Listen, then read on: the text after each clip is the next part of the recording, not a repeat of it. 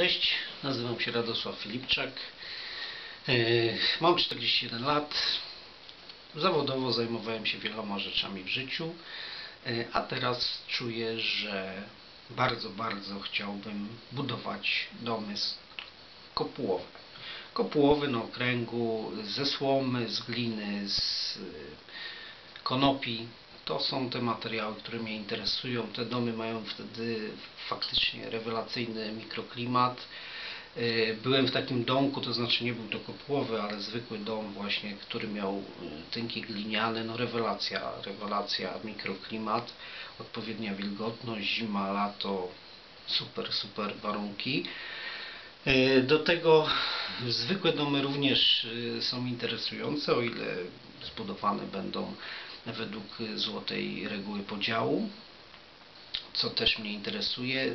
Każdy dom ma swoją energię.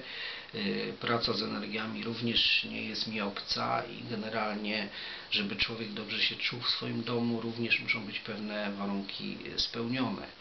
Yy, Budownictwo ekologiczne jak najbardziej tutaj się wpasowuje w te warunki energetyczne dla człowieka Mm, i generalnie pociąga mnie to, żeby właśnie takie energetyczne, fajne domy budować dla innych, jak i również zbudować kiedyś taki niewielki domek dla siebie, dla rodziny być może. Także jest to, jest to moje marzenie, a wiem, że marzenia się spełniają. Dzięki.